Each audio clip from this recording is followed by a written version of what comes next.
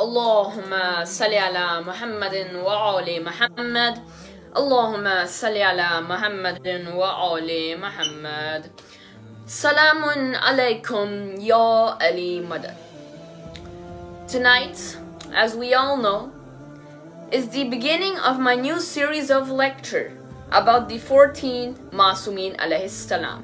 Allahumma salli ala Muhammadin wa ali Muhammad. So inshallah, every Tuesday, I will discuss about one Imam, about one Masum. We will talk about the fazail of the Imam, the status and the virtues, and of course, the history. These series will be very beneficial for our young youth because I will discuss step by step and give very short but important brief introductions. So easy that even the young children will be able to understand majalises. So today, let's start our series by discussing of our first Masum and the last prophet, the messenger of Allah, Hazrat Muhammad sallallahu alayhi wa alihi wa sallam. Allahumma salli ala Muhammadin wa ali Muhammad. Prophet Muhammad is a prophet in Islam who is the last messenger of Allah. The mission, the mission of Prophet Muhammad was essentially the advancement of monotheism and morality. He was also a social reformist and he was the last prophet of Allah. His major miracle, well, there is no doubt, was the Holy Quran. Although our prophet was born in the polytheistic society of Arabia, he never worshipped any idols he also avoided the inappropriate manners that were rampant, which means that were very common in the pre-Islamic Arabia. Neither in the pre-Islamic Arabia. He was chosen by Allah. Now this is very important because this causes a lot of confusion. He was chosen by Allah as a prophet, but he declared that he was a prophet at the age of 40. Now a lot of people will get confused that between this, he was always a prophet. Before he was even born, he was a prophet. But he declared openly that he was the messenger of Allah at the age of 40. And there is a huge difference between him being a prophet and him declaring that he was a prophet. So for our young youth, it is very important for them to know Prophet Muhammad was always a prophet, but he declared openly to the public that he was the last messenger of Allah at the age of 40 years old. Although the polytheists of Mecca persecuted him and his followers for many years, Prophet Muhammad and his followers, they did not give up following Islam. And some of his famous followers were mentioned in my previous lecture of my old series of lectures. After 13 years of preaching in Mecca, he immigrated to Medina. And now, furthermore, we will discuss about the immigration from Mecca to Medina. So stay here in a couple of minutes. We will talk more about the immigration. This immigration, also known as Hijrah, marked what was the beginning of the Islamic calendar. But now, let's start to talk more about our Prophet before we talk about the history. Our Prophet was the son of Hazrat Abdullah. Hazrat Abdullah was the son of Hazrat Abdul Muttalib, who was the son of Hazrat Hashim. The Prophet's mother, her name was Bibi Amina salamullah alayha. The date of birth of our Prophet is the 17th of Rabil Awal, according to the majority Shia scholars. The first Amul Fil, Amul Fil is the year of the elephant. This was the year in which Abraha and his elephants, they attempted to come and destroy the Holy Kaaba. They att attempted, they did not succeed. Prophet Muhammad married Bibi Khatija salamullah at the age of 25 years old. Bibi Khatija lived with our Prophet for 25 years and she passed away 10 years after Baysat. Now, this might cause some confusion. What is Baysat? Baysat is when the Prophet declared that he was the messenger of Allah openly. Bibi Khadija gave birth to few children. The boys died in childhood. But the most famous daughter, and not just the most famous daughter, the one and only daughter of Bibi Khadija and our prophets was Bibi Fatima. Salamullah alayha. Allahumma salli ala Muhammadin wa ali Muhammad. Lady Fatima was the only daughter there was no other daughter, and there is no doubt that Lady Fatima was the only daughter. This means that Bibi Fatima was the only daughter of our Prophet and Bibi Khatija, and we have proof from ahadith from a vast majority of history books. We have proof to prove that Bibi Fatima, Lady Fatima, was the only daughter of Bibi Khatija and Rasulullah. But now I know that I talked about Baysat. So I personally feel like it's important for me to give more details about Baysat and what happened in Baysat. According to the Twelver Shias, as I mentioned before, the mission of our, the mission of the prophets will begin on the 27th of Rajab. In the years prior of his mission, this means before the beginning of his mission, Prophet Muhammad would spend a lot of time in solitude. He would worship Allah. He would spend one month in solitude in a cave that was called Ghari, the cave of Hira, or some of us know it as Ghari Hira, but in English it says the cave of Hira. Most importantly for our youth, the name of this cave was Hira, the cave of Hira. This was located in the mountains, and our prophets would spend one month there praising and worshipping Allah. He was in the cave of Hira when the mission began and the verses of the Quran were revealed to him. Later, Prophet Muhammad would describe this event. But as I mentioned, my goal with these lectures is really just to give a short and brief introduction for our young youth to understand. So now we have talked about before declaring. Now let's see what happens once our prophet declared that he was the prophet of Allah and he was the last prophet of Allah. After he declared his prophethood, he preached and he invited people to Allah for 13 years in Mecca.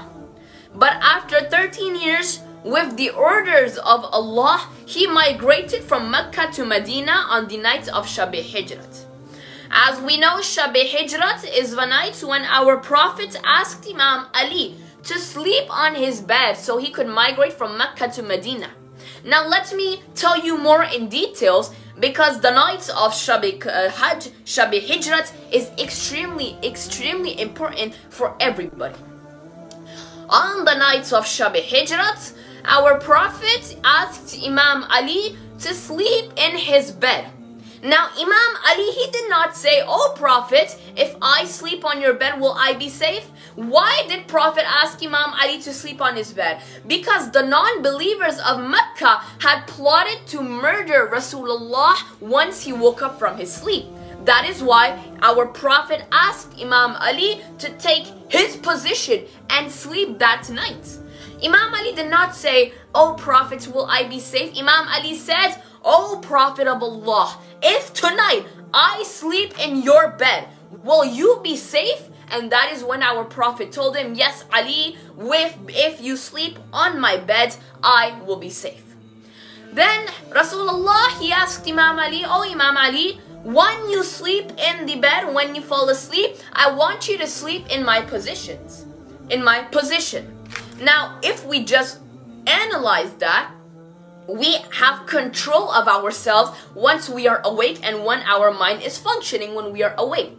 But once we are sleeping, we have absolutely no control of ourselves, especially when it comes to which position we will sleep.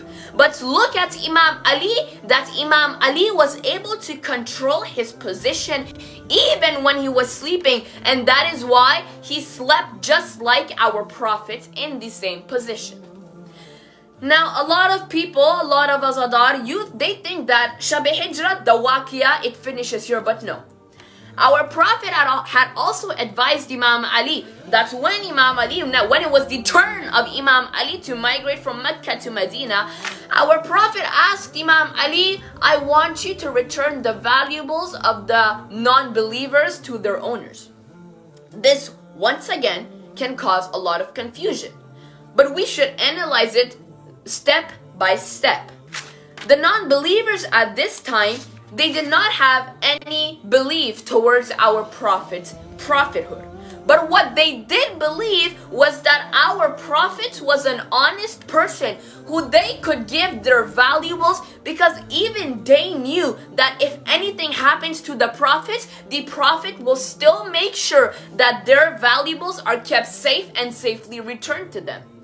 That is why Imam Ali was given a duty by Rasulullah that before Imam Ali, he himself migrates from Mecca to Medina. He takes the valuables of the non-believers and he gives them to the non-believers safe and sound. My Azadar, this is extremely important to understand. Why? Because the non-believers they did not believe in the prophethood of Rasulullah. But you know what they believed? They believed that Rasulullah was a trustworthy person, an honest person who they could deposit their valuables without any concerns and they knew 100% whatever happens, Rasulullah would find a way and would return their valuables to them this was the status of Rasulullah that even the non-believers were trusting Rasulullah with their valuables. Please recite aloud salawat. Allahumma salli ala Muhammadin wa ali Muhammad.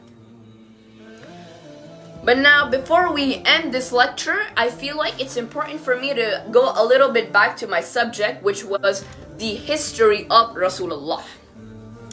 Now that we have talked about the migration from Mecca to Medina, let's talk about Medina. Now I want all Azadars to listen cheerfully. Now let's talk about Rasulullah once he migrated to Medina. During our Prophet's lifetime in Medina, which was only 11 years by the way, there were so many battles our Prophet had to go through. Some of the battles are the Battle of Badr, the most famous battles, the battles of Badr, Uhud, Khandak, and Khaybar. These are some and the most famous battles known among us youth. Inshallah, we will discuss precisely and detail with detail about these battles when I make a new series of lectures about the battles of the Prophet. But right now, let's head back to our subject, which is Rasulullah. Now, before we come towards an ending, please recite aloud salawat. Allahumma salli ala Muhammadin wa ali Muhammad. In the beginning of 11th after Hijrah, on the day of 28th of Safar, our Prophet was murdered in Medina due to severe poisoning. He is buried inside his own room in his house and he murdered at the age of 63. It is mentioned in Nahj al-Balagha that at the time of his demise, the Prophet's head lay, was laying on the chest of Imam Ali. It is mentioned in Nahj al-Balagha that during the time of the demise of our holy uh, Prophet, his head was laying on the chest of Imam Ali. Allahumma salli ala Muhammadin wa ali Muhammad. My Azadar, we have concluded talking about Rasulullah. In this lecture, we saw some extreme important events the most important being the migration Shabi Hijrat and of course we saw Baysat and we talked about Baysat. Not only did we talk about these events, we also talked about our holy prophets before the migration, after the migration, before Baysat and after Baysat. These series of lectures are very important for our young youth to listen because by listening to these simple lectures, they can understand the majalises of our scholars. Inshallah, the more we learn about the Holy Prophet, the more we study the 14 Masumin alayhi salam, Allahumma salli ala Muhammadin wa ali Muhammad, our knowledge will increase and our marifat will increase. My goal for our young youth is that we need to study about the 14 infallibles, the 14 masumin. Otherwise, understanding the majalises of our scholars can be a little difficult. But if our young youth listens to these small, easy, easy lectures, they will be able to understand the lectures of our scholars. Allahumma salli ala Muhammadin wa ali Muhammad.